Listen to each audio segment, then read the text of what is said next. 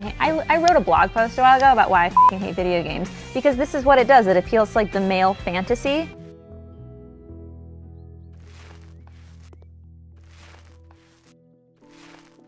Dude, that fully upgraded paintbrush, look how many we panels we did.